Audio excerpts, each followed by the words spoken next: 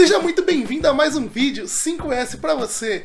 Eu sou o Max Viana e parece que todo mundo deixou passar um grande detalhe que rolou na live de revelação do jogo, mas agora a gente vai ver que detalhe foi esse. Então você que já é inscrito, dá uma bisoiada aí no sininho para ver se ele já tá ativado. É muito importante você também já deixar o seu like agora, que é para não esquecer, e mostrar pro YouTube que você tá curtindo o canal. Assim ele continua te enviando sempre que tem vídeo novo. Como todo mundo sabe, o evento rolou numa quinta-feira, mas tudo começou no sábado, quando um cara chamado Danish Sied, que é um dos designers da NetherRealms Studios, fez uma postagem no Twitter dizendo que estava achando incrível ler as mensagens da galera sobre o Mortal Kombat 11. E até algumas críticas são totalmente bem-vindas porque elas ajudam eles a desenvolverem o jogo. Bom, até aí tudo bem, sem novidade. Mas o rebuliço começou porque ele continuou esse tweet dizendo que tá chocado em como ninguém ainda perguntou sobre uma provocação bem sutil que eles colocaram na demo. E segundo ele, as pessoas vão perder a cabeça quando eles revelarem o que é aquilo. Aí pronto, né?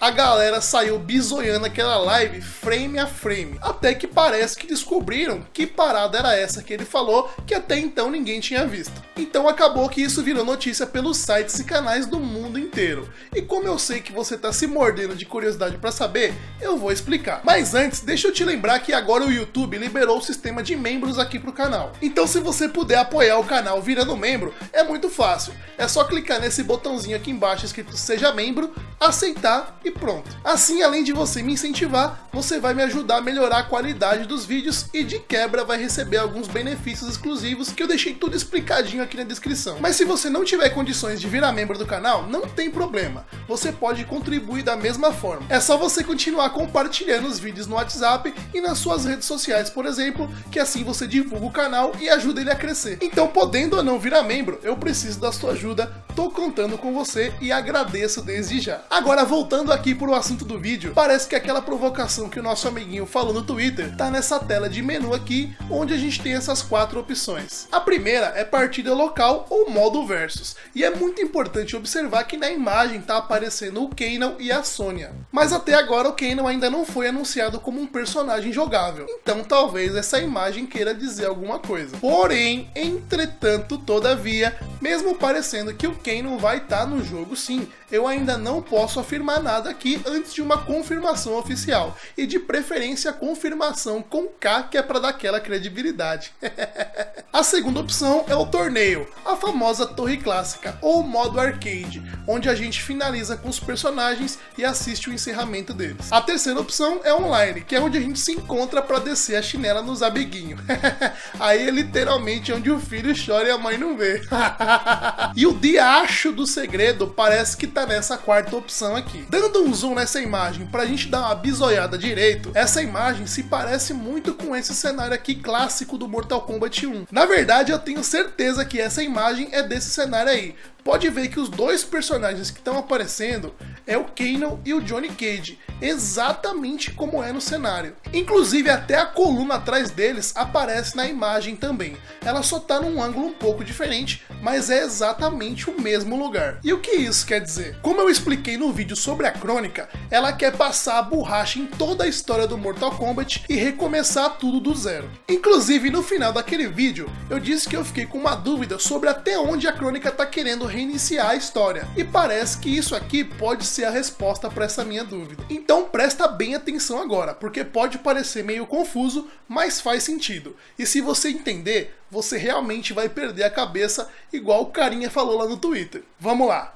Parece que a crônica tá querendo reiniciar a história lá pro Mortal Kombat 1, mas não aquele torneio que representa o Mortal Kombat 1 que acontece no Mortal Kombat 9. Eu tô falando do Mortal Kombat 1 mesmo, aquele lá na primeira linha do tempo. Pelo que eu entendi, ela tá puta com Raiden, porque ele criou essa segunda linha do tempo e começou a modificar o rumo da história. Então, primeiro, ela quer reiniciar essa segunda linha do tempo e depois voltar mais ainda na história. Então, ela pode reiniciar o reinício que o Raiden fez. E fazendo isso, ela volta lá pro Mortal Kombat Armageddon, no final da primeira linha do tempo. Mas como aí o Shao Kahn venceu, e foi por isso que o Raiden começou a mudar a história, ela reinicia toda essa primeira linha do tempo e volta lá para a história do Mortal Kombat 1. O primeirão mesmo, aquele clássico de 92. Assim, voltando lá pro começo da primeira linha do tempo, ela pode reescrever o rumo da história do jeito que ela bem entender. E se ficar ruim, é só voltar no tempo e escrever de novo. Eu sei que isso ainda é só uma teoria aqui da minha cabeça, que às vezes é meio maluca. Aliás, às vezes não,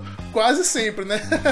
Mas se for isso mesmo, eu não sei se seria bom ou ruim, mas que seria genial, isso sem dúvida. Eu só espero que, pelo amor de Deus, eles não se esqueçam do lance do amuleto. Puta que pariu! Bom, agora voltando a falar sobre poder jogar o MK1 dentro do MK11, isso não seria a primeira vez que acontece. Por exemplo, no tão aclamado Mortal Kombat Shaolin Monks, encontrando umas moedas vermelhas na campanha do jogo, desbloqueia o Mortal Kombat 2. E no Mortal Kombat Armageddon, tem a opção de jogar o Mortal Kombat 3 direto lá no menu. Por isso é bem possível que a gente possa ter o Mortal Kombat 1 agora dentro do Mortal Kombat 11. Mas talvez não seja aquele Mortal Kombat 1 clássico que a gente conhece. É, calma. Eu vou explicar. Mas antes disso, deixa eu falar com você que está chegando agora aqui no canal. Se esse é o primeiro vídeo meu que você está assistindo, seja muito bem-vindo. Mas eu te peço para não se inscrever agora no canal. É, é isso mesmo, não se inscreve ainda não primeiro termina de assistir esse vídeo até o final e depois assiste mais alguns aqui comigo. Aí dá para você conhecer um pouco melhor o canal e decidir se vale realmente a pena se inscrever para continuar acompanhando os próximos vídeos. Agora, voltando ao assunto, muita gente sabe que uma equipe de programadores amadores fãs de Mortal Kombat estavam produzindo o remake do Mortal Kombat 1 e tava ficando muito bacana. Mas a NetherRealm ficou sabendo e barrou os caras de continuarem o projeto. Então, tempo depois, eles entraram em contato com os caras de novo e disseram para eles voltarem com o projeto do remake do Mortal Kombat 1, só que agora com a supervisão da NetherRealm. Mas logo em seguida surgiu um rumor de que esse projeto foi descontinuado, porque segundo a NetherRealm, a equipe que estava trabalhando nisso era muito amadora e não estava entregando bons resultados, levando em consideração o peso do nome Mortal Kombat. Desde então, a gente não ouviu falar mais sobre o caso. Então, não só eu, como canais e sites espalhados pelo mundo inteiro, estamos achando que essa desculpa esfarrapada que a NetherRealm deu de que o projeto foi